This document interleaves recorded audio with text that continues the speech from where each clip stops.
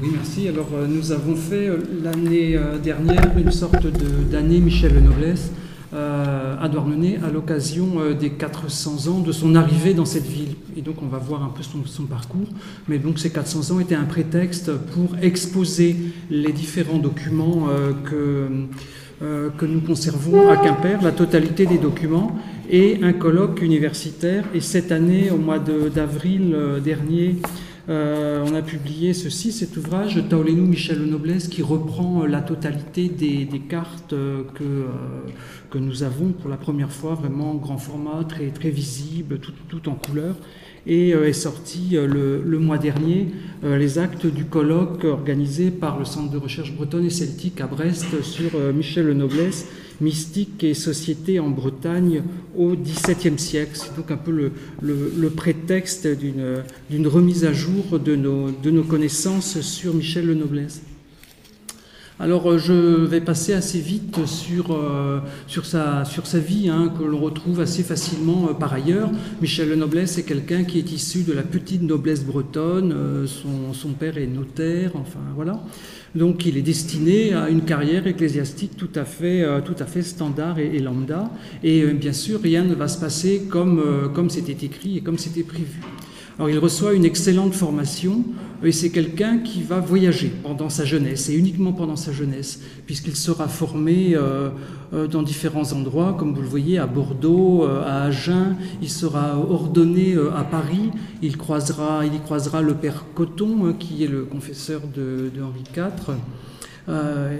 bref, il, est formé aux meilleures bibliothèques euh, du moment. Et il revient dans sa Basse-Bretagne avec euh, cette masse, cette masse de connaissances qui fait qu'il va mettre en œuvre une méthode tout à fait euh, nouvelle pour l'époque, hein, qui sont donc le début de ses missions de l'intérieur, l'invention de ces tableaux de mission, euh, et il aura un tel rayonnement que euh, le jésuite Verjus écrira en 1666 La vie de Monsieur le Noblesse, prêtre et missionnaire de Bretagne, donc un, un livre qui va contribuer énormément à son rayonnement par la suite et à la connaissance que nous avons sur le personnage, illustré d'une gravure euh, de Lebrun qui sera aussi répandue et euh, qui va figer une fois pour toutes l'iconographie de Michel Le Noblesse. Je vous passe différents tableaux euh, que nous conservons à l'évêché de Quimper sur ce, sur ce personnage.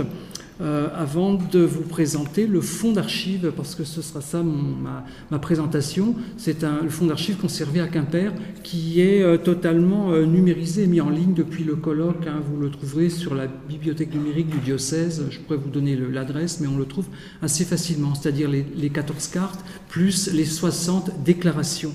J'y reviendrai. Alors, sur cette photo que j'ai faite dans nos archives. Là, nous avons par terre un peu l'ensemble l'ensemble du fond euh, du fond conservé que nous allons voir un peu en détail. Là, 14 euh, cartes euh, sur peau de mouton et 2, mètres ou 3 mètres de linéaire d'archives, beaucoup de choses du 19e siècle et une soixantaine de documents d'époque. Alors les cartes, qu'est-ce que c'est que ces fameuses cartes? Donc les voici presque, presque toutes. Euh, il a cette idée, et c'est en 1613 qu'il utilise pour la première fois ces documents à Landerneau, de rajouter à, la parole le support de l'image. Donc c'est quelque chose qui est absolument nouveau. Et pour ce faire, euh, euh, il, va faire faire ce type de document sur peau de mouton, pourquoi sur peau de mouton et pas papier Je pense parce que c'est quelque chose qui est plus solide, qui résiste vraiment au temps. Euh, sur peau de mouton, il fait faire ça par des, par des dessinateurs et en particulier par des gens de l'école de cartographie du Conquet. Alors on va retrouver un peu la notion de, voyage, de voyage là-dedans. On peut dire qu'il y a trois types de cartes, euh, trois catégories de cartes. Ce sont des cartes de parcours que vous avez ici sur le haut de l'image. Vous avez la croix, le miroir du monde, Babylone. En général, là, vous avez un petit bonhomme qui se promène dans ces cartes, qui va pérégriner à l'intérieur des cartes et qui va aller vers le bon côté ou le mauvais côté des choses. Et donc, euh, son parcours sera très riche de toute une symbolique euh, qu'il croisera au fur et à mesure. Dessous, vous avez des cartes symboliques. Ces cartes euh, de nature un peu différente, euh, parce qu'il n'y a pas de parcours, on peut les prendre dans le sens que l'on veut. C'est une juxtaposition de petites vignettes euh, collées, les, disposées les unes à côté des autres, qui sont moins, moins intéressantes dans nos propos aujourd'hui, mais qui sont très très riches de, de l'emblématique du temps que l'on va retrouver pour ces cartes symboliques. Il va s'inspirer des livres, comme par exemple le livre des emblèmes d'Alciat et ce genre de choses euh, les livres qu'il a pu euh, croiser et lire euh, du temps de, son, de sa formation étudiante. Et enfin, nous avons un dernier type de, cartes que nous reverrons aussi tout à l'heure, qui sont des cartes géographiques. Alors là aussi, Michel Le Noblesse va travailler et évangéliser uniquement dans le milieu littoral en Bretagne, euh, principalement euh, dans les ports, et là, s'adressant à des populations de pêcheurs, il a l'idée de faire, euh, de faire faire des cartes réutilisant, se réappropriant le support qu'ils connaissent, le support des cartes marines, mais cette fois-ci pour réaliser des cartes spirituelles, des cartes qui vont mener le chemin, le chemin qui mène au ciel. Je reviendrai un peu en détail sur ces différentes cartes. À côté de ces 14 cartes, un fonds d'archives qui est extrêmement euh, précieux parce qu'autrement, vous le verrez vite quand, on va voir les détails, ces cartes demeureraient incompréhensibles et demeureraient totalement à l'état de rébut sans le mode d'emploi qui les accompagne. Et c'est ce corpus euh, complet qui rend la chose assez, euh, assez passionnante. Donc voilà à quoi ressemble le fond d'archives de l'époque du XVIIe siècle au complet. Vous voyez que c'est pas très très très très volumineux. Il se présente comme ça. Ce sont des cahiers manuscrits euh, rédigés soit de la main même de, Michel Lenoblet, ou soit des copies qui sont un véritable mode d'emploi de chaque carte. Ce sont des cartes qu'il a écrites lui-même, copiées par d'autres, parce que le but était d'avoir une sorte vraiment de, valise pédagogique, si on veut, euh, étant donné que lui-même enseignait les cartes, mais aussi la formation se faisait par des femmes, principalement des femmes euh, et des femmes de Douarnenez, là où il a passé 20 ans. Donc euh, chacun s'appropriait, devait apprendre par cœur le mode d'emploi, se recopiait l'explication sur un cahier, sur un autre, pour, euh, pour pouvoir ensuite l'enseigner à d'autres. Et ces différentes cartes que nous allons voir, là je vous montre donc différents types de déclarations conservées. ces différentes cartes étaient faites pour être utilisées dans un petit cercle et pas, euh, voilà, il s'agissait d'avoir une trois, quatre personnes autour de la carte euh, recevaient l'enseignement et guère plus. Je vous montre là les différentes déclarations. Voilà une autre avec des, croquis. Vous voyez que ça peut être assez, euh, assez complexe. Et je vais vous montrer une carte qui est la, plus fameuse, qui est la, carte de la croix un peu en détail. Euh, euh, et, vous mettre en pendant euh, un début du texte de, la, déclaration correspondante que nous avons conservé. Parce que nous estimons, nous avons 14 cartes, mais on estime qu'il existait à l'époque 70 cartes. Donc les autres ont disparu, donc il y a des textes et des déclarations qui ne correspondent plus à rien et des cartes sans explication aujourd'hui. Alors naturellement, vous voyez qu'il y a quelque chose là qui a de, ce genre de parcours qui, a à voir avec la, carte du tendre d'une certaine façon. La carte du tendre est postérieure aux cartes de Michel Le Noblesse, mais on était vraiment dans cet esprit euh, du, euh, XVIIe siècle d'indiquer euh, un voyage, un parcours dans une carte de, dans une carte de ce genre. Je vous remets la, carte de la croix avec le, début de la déclaration correspondante que vous pouvez lire si vous, si vous le voulez. Vous en verrez différents, différents extraits.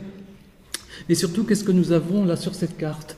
Nous avons euh, euh, une, croix qui représente euh, l'église, à ses pieds les, cuves baptismales, hein, le baptême, donc l'entrée dans l'église, et trois chemins, donc deux chemins larges et un chemin étroit. Le premier chemin large qui est ici en bas va commencer par un démon ici, suivi d'un deuxième, un, monstre là.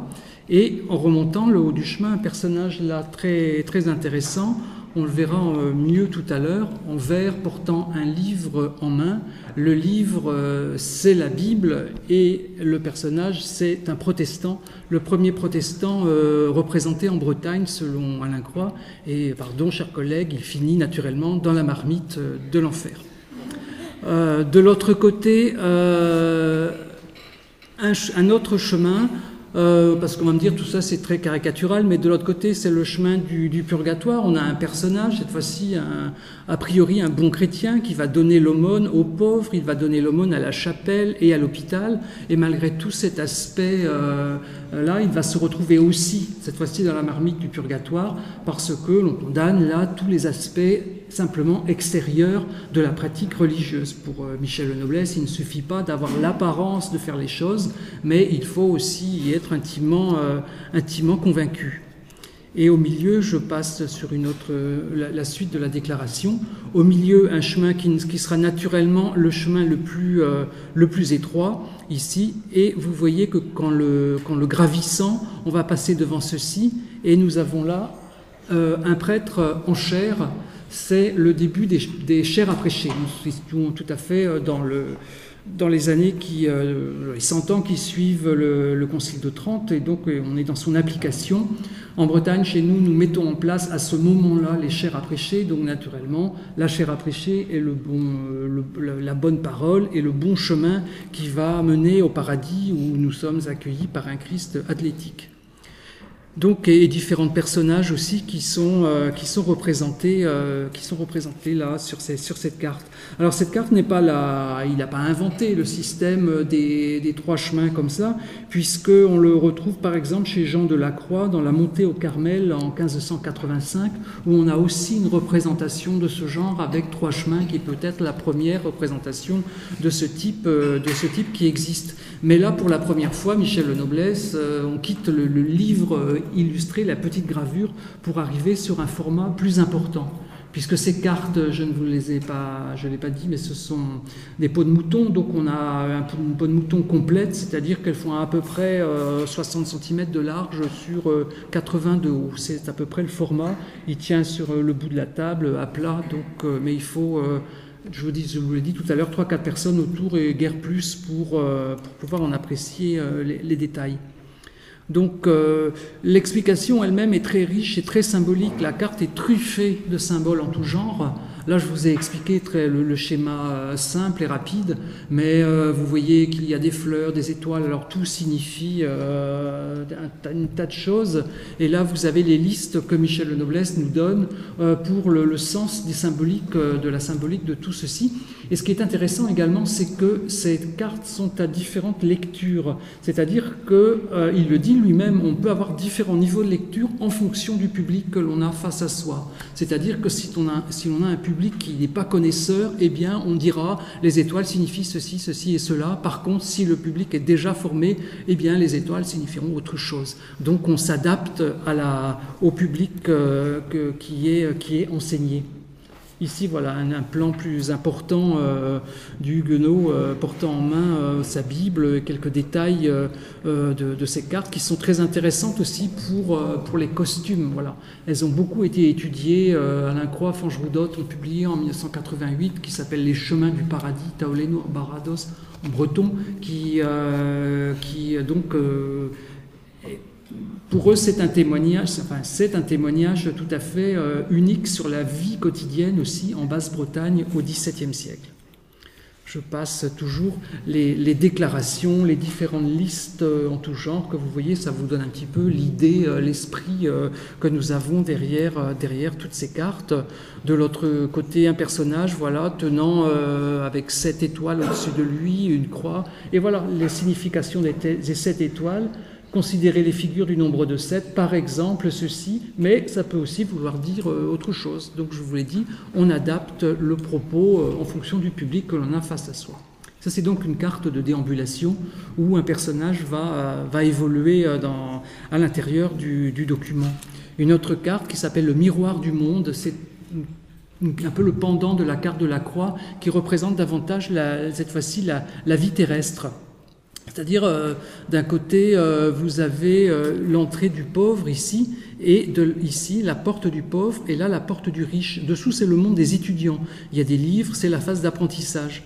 La porte du pauvre, où on va gravir là aussi jusqu'à l'enfer, le purgatoire et le paradis, mais euh, différentes scènes représentant euh, là aussi des scènes de pêche, de jardinage, etc. Euh, des scènes où aussi bon, des, choses mauvaises se passent dans, dans, la vie quotidienne, mais et de l'autre côté l'univers du riche, avec ici une scène de mariage, les mariés sont sur un char, mais c'est le diable qui tient, qui tire, qui tire la charrette.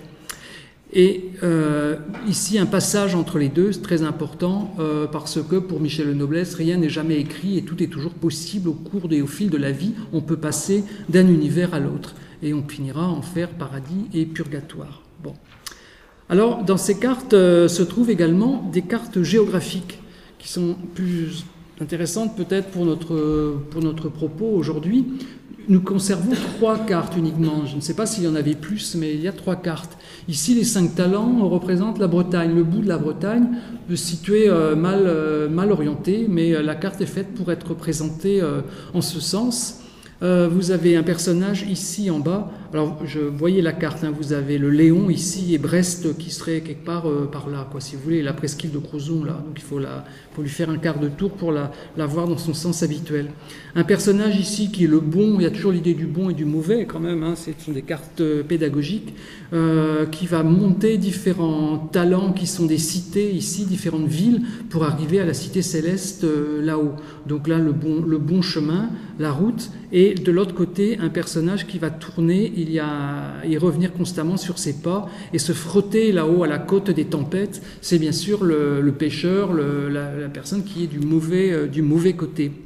Alors euh, voilà la carte du. On voit que le Léon est surreprésenté par rapport à la, Cornouaille. Et puis, comme je vous l'ai dit tout à l'heure, Michel Le Noblesse fait faire ces cartes par l'école de cartographes du Conquet. Plusieurs sont signées euh, d'un certain euh, Lestobec, registrateur du port du Conquet. Et on n'est pas étonné donc que le Conquet soit ici favorisé par rapport à la représentation de la Cornouaille.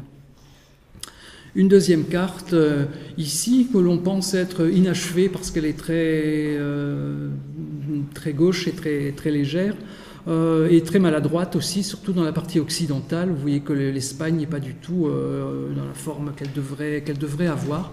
Euh, donc les quatre monarchies, euh, bon là aussi représentent. Alors il n'y a pas de personnage ici qui déambule euh, et nous n'avons pas l'explication de la carte en question elle-même. Mais en gros, c'est l'idée d'aller vers la Terre Sainte. voilà, peut-être un souvenir des croisades. Mais cette carte reste assez assez peu, claire. Au-dessus et d'une autre main, de, des dessins illustrant l'arche de Noé. On les voit mal ici. Euh, voilà, la main de Dieu qui crée euh, homme, l'homme, Adam, etc. Ce sont, des, ce sont, des, extraits là de la Bible que l'on va avoir sur cette, sur cette carte. Et enfin, et la plus étonnante des trois cartes géographiques conservées, c'est la carte des conseils. Alors, elle représente euh, les Amériques. Alors on se retrouve un peu dans, nos sujets euh, de, ce matin. Euh, elle représente les Amériques. vous voyez l'Amérique du Nord euh, ici, l'Amérique centrale, l'Amérique du Sud. Bon voilà, des grilles assez curieuses et des bateaux dans tous les sens. les grilles étaient faites, c'est une sorte de QCM de l'époque. Euh, les grilles étaient faites pour travailler, pour les remplir. C'est-à-dire qu'avec un jeu de questions et de réponses, on était invité à écrire euh, dans la case de la grille euh, sans doute la réponse à la question qu'on se posait. C'est pour ça qu'on a ces différentes grilles qui, assez, assez étranges sur, sur, sur les océans des bateaux dans tous les sens, un peu dans le style médiéval, hein, qui circulent dans tous les sens, alors bien sûr, les bateaux qui vont se perdre dans les pôles euh, comme celui-ci qui est mal parti, euh, ben, ce seront aussi là les mauvais hein, qui vont. Euh, là, il n'y a pas d'enfer, mais l'enfer, c'est le, ce sont les, pôles, le pôle sud et le pôle, et le pôle nord. Il parle dans la déclaration de la terre des bienheureux qui est ici, qui correspond grosso modo à l'Europe, mais bon, je ne pense pas que ce soit voulu, qui est donc le paradis dans cette, dans cette carte. Bon, et pour ce qui est des bateaux représentés, euh, le, Yann le conservateur du musée du bateau de Douarnenez, nous indiquait que, euh, en fait, euh, on trouve toutes sortes de bateaux, y compris des, des galères méditerranéennes. Alors, est-ce volontaire ou pas? Nous ne le savons pas. Est-ce que le dessinateur a voulu, par souci d'universalité, indiquer les bateaux du monde entier, ou bien ne savait-il pas en dessiner d'autres? Ça reste assez mystérieux. Mais il y a surtout sur cette carte quelque chose qui est assez, euh, assez remarquable et je vais vous montrer le détail tout à l'heure. Ce détail est écrit euh, dans, la, dans la déclaration. Vous avez ici, quelque part par là, des personnages, je vous montre le détail tout à l'heure, armés de pelles et de pioches et ils sont en train de creuser un canal.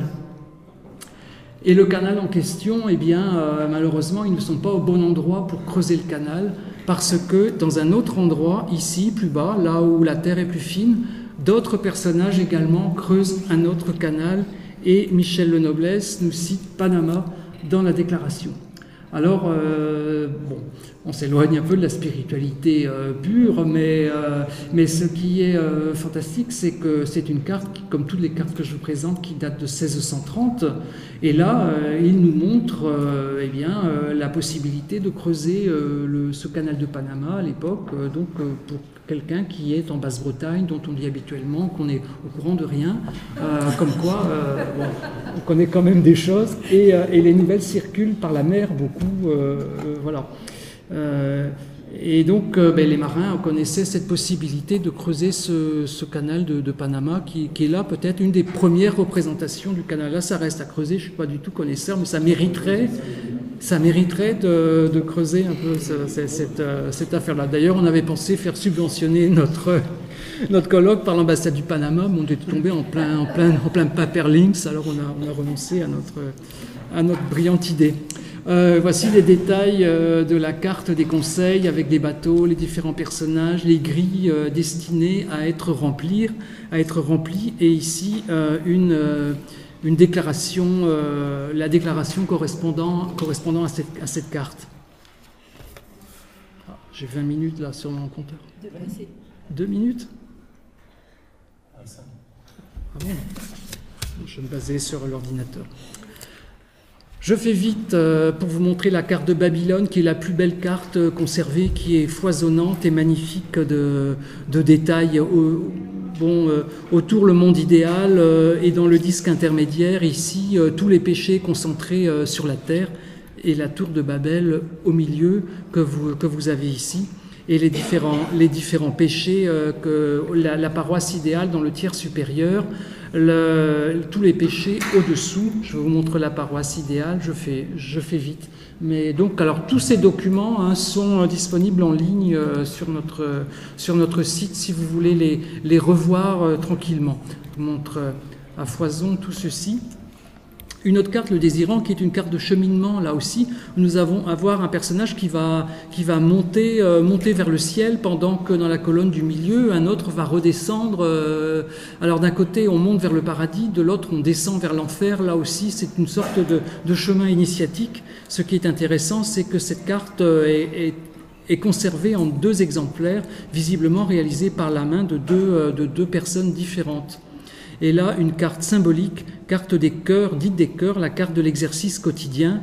Et je reviendrai euh, un peu plus tard sur cette carte des cœurs, où je vous montre là les différents symboles euh, de cette carte des cœurs qui se termine par un personnage intéressant euh, appelé par Michel Noblesse le cheval du quincaillier, qui euh, lui a été inspiré et repris d'une gravure qui se trouve dans les exercices spirituels de Saint Ignace dans une version de 1663. Mais donc Michel Noblesse là aussi a puisé euh, bien sûr le, monde jésuite, si même lui-même était prêtre du Léon, hein, mais le monde des jésuites est toujours assez proche, assez proche de lui.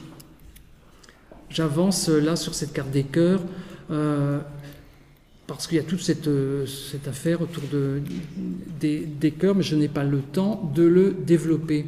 Alors ceci dit, euh, cette carte des cœurs va aboutir après dans la succession de Michel Noblesse à autre chose là je ne m'étendrai pas, mais qui sont la série classique des Taolénou. Euh, Taolénou, ce sont les tableaux de mission, qui seront mis en place par Vincent Huby, donc la série classique des 12 euh, des cœurs. Vous avez tout à l'heure vu la grande carte avec les cœurs, qui elle n'a servi qu'à Douarnenez.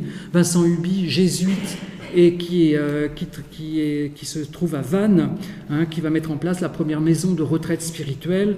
lui va utiliser cette série classique de chœur et c'est Anne Sauvy dans son ouvrage Le miroir du cœur, quatre siècles d'images savantes et populaires, publié au CERF en 89, qui va beaucoup parler de cet aspect des choses et cette image, cette imagerie va connaître un succès considérable à travers l'Europe entière et même on va en trouver trace en Chine.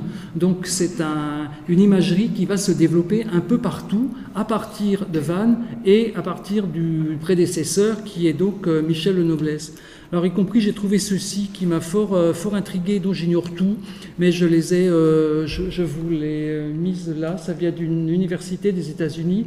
Ce sont des documents du XVIIIe siècle qui viennent des, des Pays-Bas, donc conservés aux États-Unis, où on retrouve là aussi un style un peu un peu, similaire, si on veut, à Michel Le Noblesse, mais là, c'est une porte ouverte à la, aux questions. Je ne sais pas du tout si, euh, vous avez des idées, je suis, preneur. Alors, pour finir, eh bien, nous allons partir quand même vers le Canada, parce que je vous mets ici le, le tableau La France apportant la foi aux Hurons de Nouvelle-France. Donc, vous voyez d'ailleurs que la France donne un tableau, et c'est un tableau religieux qui est donné ici. Et les Hurons eh bien, ont été évangélisés par, euh, par, plusieurs, euh, par plusieurs missionnaires, par des jésuites, et en particulier par Jean Pierron, euh, qui est né en 1631, et c'est assez intéressant, vous allez voir. il arrive à Québec en 1667, il séjourne au pays iroquois, et il revient, il meurt en France en 1700. Et donc, ce Pierron a peint, il a peint beaucoup de choses, et ça a à voir avec notre, notre missionnaire. Selon Marie de l'Incarnation, euh, pour vaincre cet obstacle qui était donc l'alcoolisme, Pierron s'est avisé d'une invention admirable qui est de faire des figures pour leur faire voir des yeux ce qui leur pêche, prêche par la parole. Il instruit le jour et la nuit il fait ses tableaux car il est assez bon peintre. Enfin, il fait ce qu'il veut par le moyen de ses peintures. Tous les Iroquois de cette mission en sont si touchés qu'ils ne parlent dans leurs conseils que de ces matières et ils se donnent bien garde de boucher les oreilles quand on les instruit. Et donc, en relatant les, activités de Pierron dans son rapport de 1668 et 69, le supérieur, le père François-Joseph Le Mercier, qui est supérieur général des missions de la Nouvelle-France, il note pour la première fois donc l'origine bretonne de ces peintures spirituelles utilisées au Québec. Je le cite, l'invention de ces tableaux n'est pas tout à fait nouvelle, elle avait été déjà mise saintement en usage par un célèbre missionnaire de notre France, et il n'est personne qui n'ait lu la vie de Monsieur le Noblesse, qui n'avoue que ça a été un des plus beaux secrets, donc la vie de Michel le Noblesse qui est, qui est ici, hein, de Verjus, que, ça a été un des plus beaux secrets dont il se soit servi pour instruire les peuples sur nos saints mystères. Le Père Pierron a pu imiter ce grand homme et introduire dans le fond de nos forêts une pratique qui a été de si grand usage parmi une nation déjà civilisée. Et François-Marie Gagnon, donc, dans son ouvrage La conversion par l'image, cite également un ouvrage du père euh, Claude Chauchetière, euh, qui est l'auteur en 1696 de la vie de la bienheureuse Catherine Tekawita, qui est très connue au, Québec, la première sainte du, Québec, et il a réalisé ce, tableau aussi assez connu euh, au Québec. Et, il indique Je me résolus de travailler à cette grande image que je vous montre là, et qui est encore à présent dans l'église du Sceau pour servir d'instruction aux sauvages de la vie et des mœurs de Catherine. Et enfin, en y étant venue à bout, après, après beaucoup de peine, elle y fut mise avec les quatre fins de l'homme que l'on y voit et les peintures morales de Monsieur Le Noblesse. Alors là, c'est un mystère pour moi. Est-ce que des peintures de Michel Le Noblesse ont été réellement exposées au Canada ou pas? Ou est-ce que ce sont des, peintures d'après Michel Le Noblesse On n'en sait rien. Et les deux hypothèses sont possibles. Et là, on n'a pas de documents. Et peut-être qu'un jour, on aura l'extraordinaire surprise de trouver ces documents, euh, au Québec. Alors pour conclure, le même euh, François-Marc euh, Gagnon, il indique dans sa fin de conclusion d'un fort volume qui est l'histoire du livre et de l'imprimé au Canada, qui est publié aux presses de l'Université de Montréal en 2004, il dit ceci, euh, et je vous ai montré, je vous, montre différents documents qui sont utilisés au 19e siècle et un peu dans la, suite de garder, de garder des images. La ressemblance de tous ces documents, dit-il, avec la carte du jugement qui est là, le miroir du monde, donc, est frappante. Cette dernière, qui avait été faite par un missionnaire breton, le père Le Noblesse, datait de la première moitié du XVIIe siècle. Et nos missionnaires, donc nos missionnaires québécois, avouaient s'en être inspirés. Et, dit-il, finit-il sa conclusion, une remarquable tradition iconographique qui reste toutefois muette sur les conditions exactes de son cheminement.